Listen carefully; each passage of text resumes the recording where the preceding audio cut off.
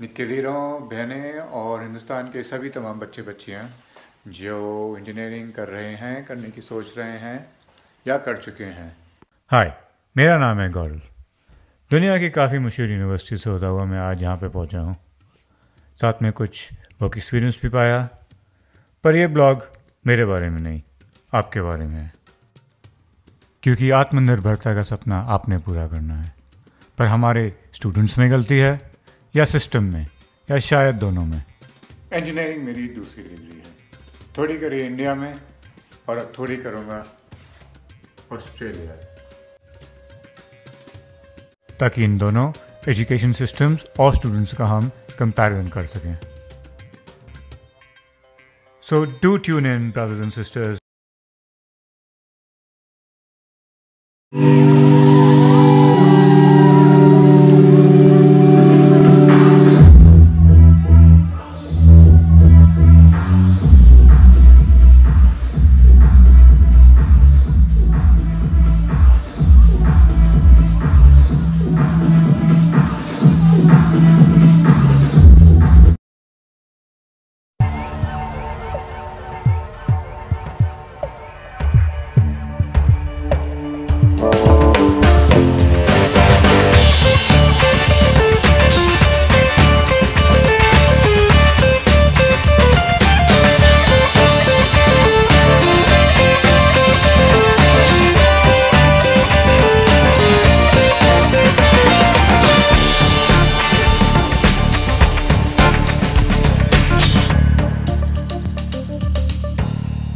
Welcome to my blog, the second episode. Um, after that introduction, welcome to all the aspiring engineers, the young Indian engineers, जिनके हाथों में अब आत्मनिर्भरता का सपना है और होना भी चाहिए.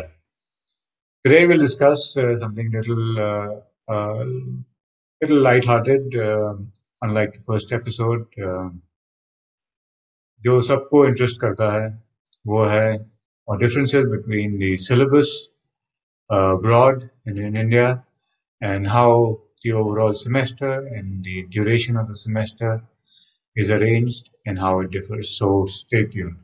तो अगर हम देख रहे हैं ये मेरा साइड में चल रहा है एक सब्जेक्ट का एक कोर्स का जिसे कहते हैं सेमेस्टर लॉन्ग शेड्यूल जिसमें सबसे पहली बात तो दिखती है कि इसका ड्यूरेशन कितना है? It's actually just twelve weeks that's consistent across all courses and across all semester यहाँ पे आपका सेमेस्टर बारह हफ़्ते का होता है not one not one week more और less it doesn't change pandemic और नॉट तो ये कंसिस्टेंट है यहाँ पे बट इंडिया में हमें पता है कि all uh, semesters engineering colleges are definitely पंद्रह हफ़्ते के तो होते ही कई कई यूनिवर्सिटीज में चेंज आया है मेरे ख्याल से। But mostly I think it's obvious that we have 15 16 week long semesters semester after semester discuss करने की बात यह है कि how does that relate to syllabus? How does that relate to how much you cover in 12 weeks, how much you cover in 15 weeks. So in my experience, um, जो मैंने D I T college में देखा था D university में देखा था देहरादून में was that सबसे पहले इम्प्रेशन मेरा ये था कि duration is long, so obviously you cover more. think इतना तो सेफ है कहना when the when the breadth is more then what is the depth and uh, इतना obvious relationship नहीं है कि uh, it's not a it's not a constraint on on a जैसे कि आप सोचें it's not a it's like a rectangle just because the length is longer doesn't necessarily mean that depth has to be less. India we we cover a fair bit of depth also. Uh, in fact, I would say in some subjects we cover more in depth, and uh, we and simultaneously you the semester is also long. So each topic is in fact discuss more and you cover more subjects यहाँ पे ऐसा नहीं है यहाँ पे मतलब उन्होंने ठानी हुई है यहाँ पे कि इक्वेशन याद नहीं होनी चाहिए बच्चों जबकि taking the example of you know typically what we do in engineering where you doing for example if you study in electrical engineering you doing transistor circuit diode circuit आपको डायोड इक्वेशन तो याद होनी चाहिए। From the semester you learn it till you pass out यहाँ पे ऐसा बिल्कुल भी नहीं है। यहाँ पे I mean not only are in exams आपको दिए होते हैं the sense that back of the question paper are all formulas and equations you'll ever need but पढ़ाने का तरीका भी ऐसा नहीं है यहाँ पे तो बिल्कुल भी they don't insist on you memorizing things they don't insist on you even even uh, going into depth as long as a practical implementation uh, आप उसका कुछ practically implement कर सकते हैं so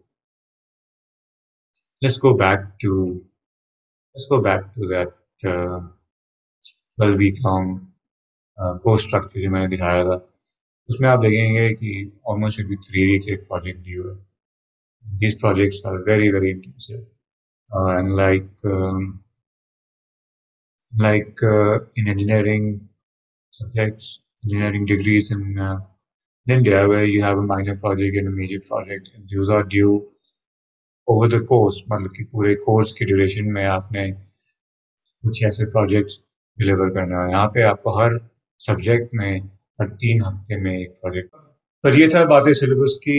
Now let's talk about now let's return back and close this by talking about the duration कि practical aspects of duration क्या है? For example Friday आज संडे है। फ्राइडे को हमारी मिड टर्म ब्रेक भी स्टार्ट हो गई है। We covered five weeks and now there week long break after which there be seven weeks after which but importantly after which there be exactly एक हफ़्ते की छुट्टी। मतलब बारहवा वीक खत्म होएगा आपका बट एग्जैक्टली एक हफ़्ते की छुट्टी। अगेन दिस इज़ कंसिस्टेंट हर सेमेस्टर सही होगा।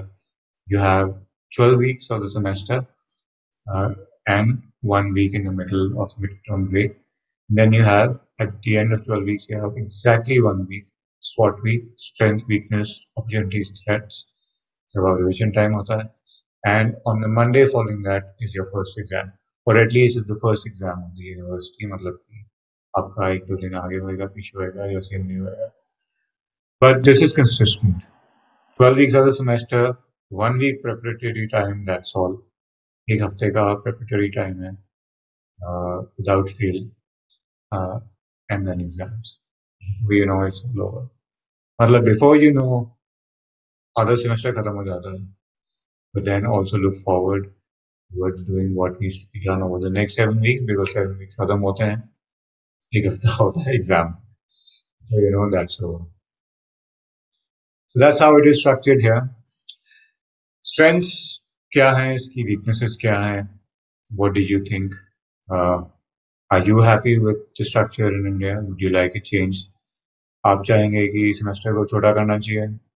जैसा मैंने बताया कुछ यूनिवर्सिटी ट्राई कर रही हैं। नोटेबली थापड़ यूनिवर्सिटी जिनका आयरलैंड में यूनिवर्सिटी है uh, वो भी डी आई टी है डर्बन और डबलिन इंस्टीट्यूट ऑफ़ टेक्नोलॉजी उनके साथ टाइप है तो because they have a type they have had to confirm with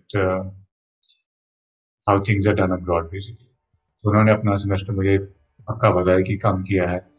आपके कॉलेज में कैसा है? आपने क्या एक्सपीरियंस किया है? आपके फ्रेंड्स बाहर पढ़ने गए हैं? उनकी क्या रहा है? Whatever you feel however you feel, talk to me, comment, and let's take this conversation to the next level. Thank you for watching.